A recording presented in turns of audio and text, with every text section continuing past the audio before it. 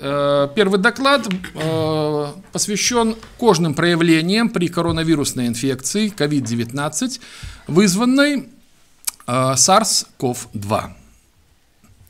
Первые сведения э, о новой коронавирусной инфекции появились в декабре 2019 года, когда заболевание было диагностировано у населения э, Китайской республики, город Ухань. В начале 2020 года э, ВОЗ определил название новой коронавирусной инфекции COVID-19, которая сегодня используется во всем мире, а Международный комитет по таксономии назвал конкретного виновника этой проблемы – SARS-CoV-2.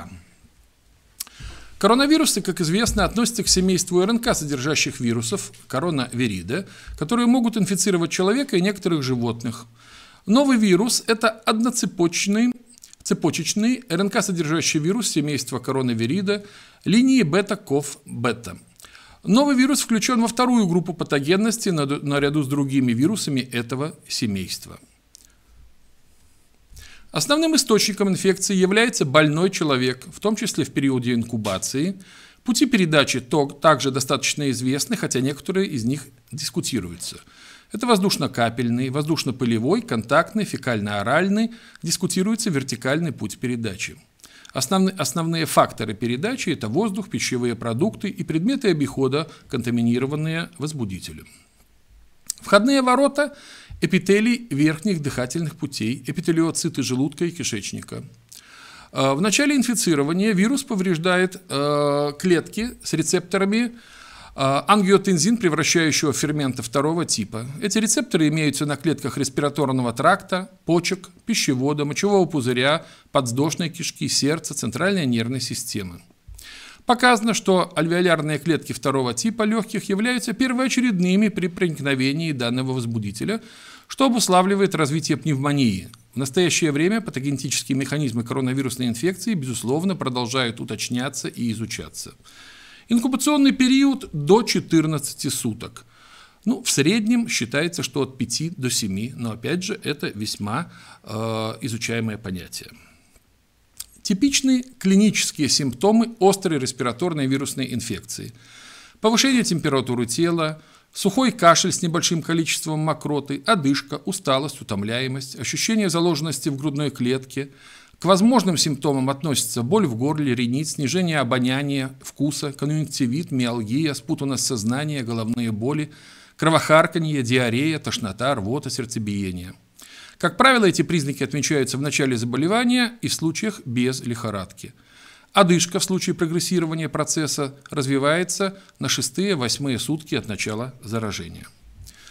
Клиническими вариантами и проявлениями COVID-19 сегодня являются острые респираторные вирусные инфекции, пневмонии без дыхательной недостаточности, пневмонии с острой дыхательной недостаточностью, острый респираторный дистресс-синдром, септические состояния, а, гипоксимия, безусловно, развивается более чем у 30% пациентов. На сегодняшний день объявлена, как известно, пандемия с 11 марта 2020 года. В клинической симптоматике COVID-19 появляются новые симптомы полиорганного поражения, которые находят свое отражение на коже и слизистых оболочках. А, сегодня а, достаточно широко изучаются механизмы развития вирусных экзантем. А, в первую очередь рассматривается роль капилляров, стаза крови, что приводит к некрозу эпидермиса и более глубоких слоев кожи, к дистрофическим изменениям клеток, формированию воспалительного процесса. В своем сообщении я решил обобщить результаты научных публикаций достаточно трех монументальных трудов. Э, это исследование профессора Потекаева из России, э, исследование широко известное испанских дерматовенерологов, ну и также э, международная группа по изучению ковид под руководством доктора Волин. Э, первое описание поражения кожи при COVID-19 было опубликовано итальянским дерматологом Рекалкарти. Э, и в этом исследовании, достаточно небольшом, но было сообщено о том, что у 20% больных COVID-19 наблюдаются высыпания на коже. При этом у 8 пациентов кожный процесс манифестировал в самом начале заболевания. Авторы выделили эритематозные элементы, распространенные уртикарии, визикулярную сыпь, имитирующую ветряную оспу. Высыпания локализовались преимущественно на коже груди, зуд был выражен слабо или отсутствовал. Тайваньские исследователи наблюдали 148 пациентов. Основной задачей авторы считали дифференциальную диагностику поражений кожи при COVID-19 от других инфекционных экзантем, а также от целого ряда э, других дерматозов. Э, заведомо были исключены из исследования э, лекарственные препараты, э, те пациенты, которые принимали какие-то лекарственные препараты с тем, чтобы не включать группу токсидермии. Среди кожных проявлений эти авторы также выделили у 20% пациентов эритематозную сыпь, диффузную крапивницу, визикулезное высыпание, аналогичные таковые, таковым при ветряной оспе. И, безусловно, авторы предложили проводить оценку вирусной нагрузки и корреляции с появлением кожных симптомов. Э, по данным китайских специалистов, собственно, это и есть тот самый Ухань, а, очень у небольшого количества пациентов наблюдались кожные высыпания, всего лишь 0,2%. В этом исследовании, собственно, отсутствует детальное описание симптомов поражения кожи и их критерии диагностики. Но несомненно, что э, по мере подключения врачей и дерматовенерологов будет развиваться и э, будет дополняться эта информация, что мы, собственно, и видим сегодня по данным научной литературы. По мнению испанского дерматолога э, Эстебанес и, и э, соавторов, одними из первых симптомов тяжелого течения COVID-19 могут быть эритема и крапивница. Однако авторы не уточняют, являются ли данные симптомы поражения кожи первичными или они индуцированы лекарственными препаратами и представляют собой проявление токсидермии. Вместе с тем имеются данные о первичной кожной манифестации COVID-19 в виде петехиальной сыпи и острого геморрагического отека. В своей работе профессор Потекаев э, анализировал накапливающуюся в литературе описание клинических наблюдений кожных сыпей при COVID-19, а также собственный опыт, в, который получен в России. И на сегодняшний день многообразие наблюдаемых дерматозов и кожных сыпей э, Николай Николаевич предлагает разделить на 7 групп в зависимости от их этиологии и механизмов развития. Это ангииты кожи, папуловизикулезное высыпание, папулосквамозные сыпи и розовый лишай жибера, кореподобные сыпи, токсидермии, крапивница и артифициальное поражение в виде трофических изменений тканей лица. А, данная публикация доступна в интернете. А, первая группа ангиитов кожи, как известно, характеризуется а, первонач... Э, клиническими признаками поражение дермогиподермальных кровеносных сосудов разного калибра. Патогенез в большинстве случаев иммунокомплексный, высыпания располагаются обычно на коже нижних конечностей, голенях, бедрах, стопах, реже на ягодицах, предплечьях, кистях, кистях. Э, в тяжелых случаях возможно универсальное распространение сыпи. При ковид-инфекции Ангииты кожи обусловлены непосредственно коронавирусной инфекцией, на фоне которой происходит поражение стенок мелких сосудов, дермы, циркулирующими иммунными комплексами в виде депозитов с инфекционными вирусными антигенами. К особым формам, ассоциированным с COVID-19 инфекцией, относят акроваскулиты – Предварительный анализ анамнеза и динамики клинической картины кожного патологического процесса позволяет предположить, что в отличие от классического течения, при COVID-19 инфекции у пациентов отмечается острое начало ангиита в коже с неуклонным прогрессированием и определенной корреляцией с тяжестью основного заболевания. А российские авторы а, наблюдали следующие варианты ангиитов кожи папулонекротический ангиит кожи, пигментную пурпуру, полиморфный дермальный ангиит, геморрагический ангиит, леведоангииты. Акцентировали внимание, что ангииты могут быть пятнистыми и уртикарными. А, авторы наблюдали папулонекротический ангиит кожи у 92-летнего а, пациента – с папулонекротическим э, ангиитом, популезные и папулопустулезные элементы появились у пациентки при поступлении в стационар по поводу развившейся вирусной пневмонии. У 80-летнего пациента с 40% поражением легких на 11 день нахождения в стационаре возникла петхиальная сыпь в области голеней. Также приведены сведения о полиморфном дермальном ангиите у 59-летнего пациента, э, у которого на фоне резкого повышения температуры до 38-39 градусов э, была зарегистрирована кожная симптоматика. Также сообщается о полиморфном дермальном ангиите у 74-летнего э, пациента с локализацией процесса на голенях. Э, докладывалось и о геморрагическом ангиите у 80-летнего пациента. Мы видим, что э, в этих исследованиях достаточно много пожилых пациентов.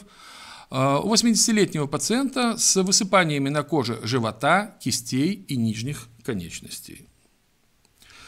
А, достаточно интересные данные а, обобщены профессором Потекаевым а, и сообщается исследование из Америки о леведоангиите нижних конечностей, причем подчеркнута унилатеральная локализация у двух пациентов.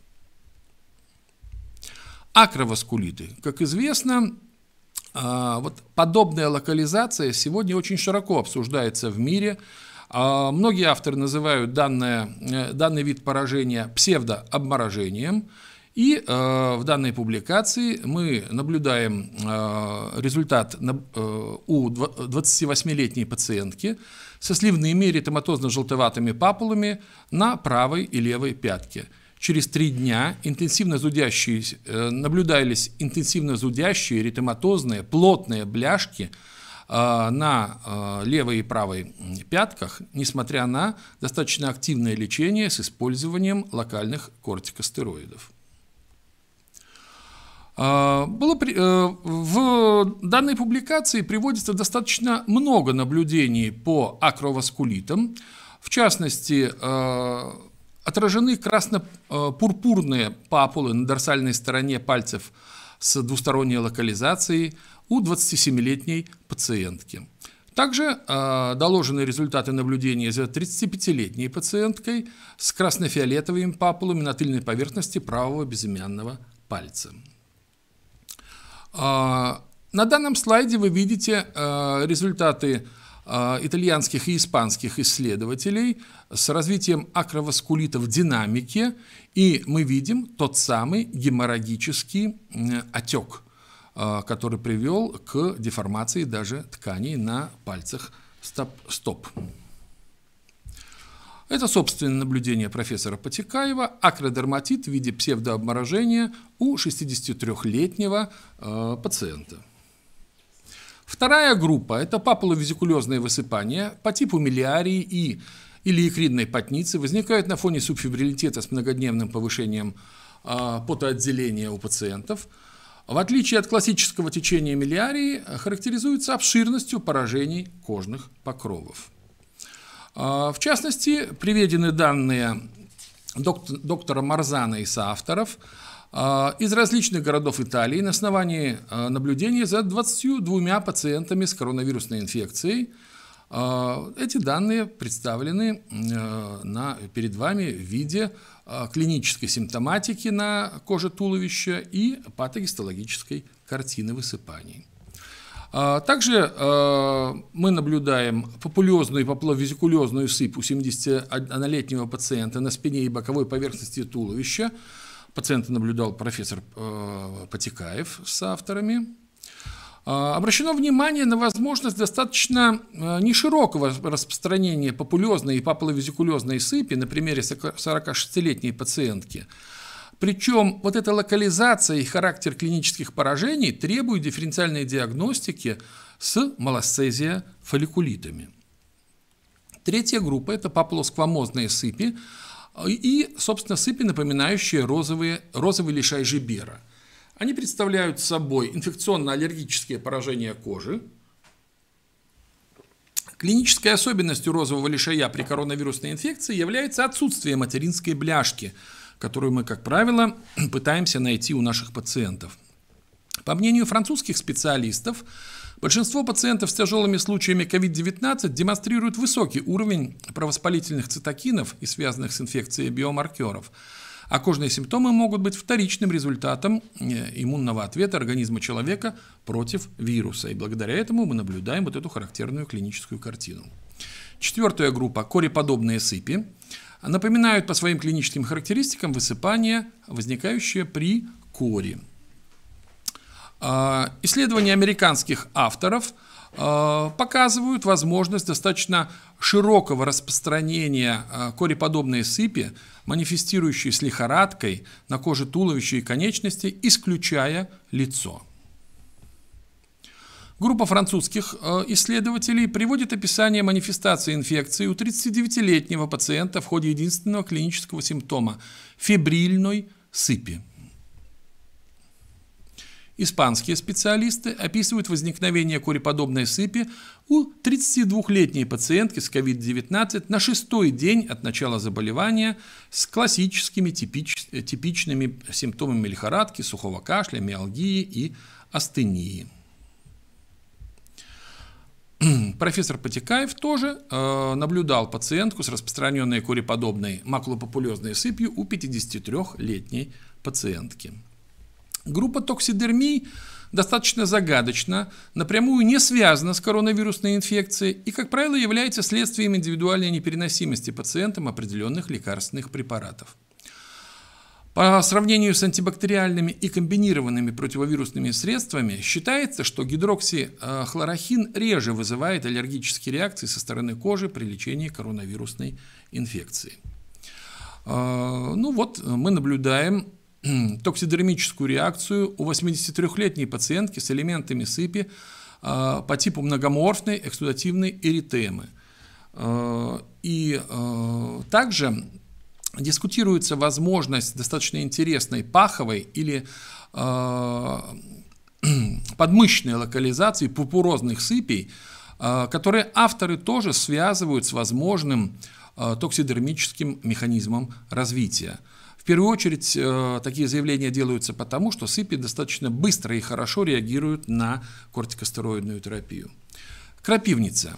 Э, в зависимости от своего происхождения заболевание может иметь двоякий характер.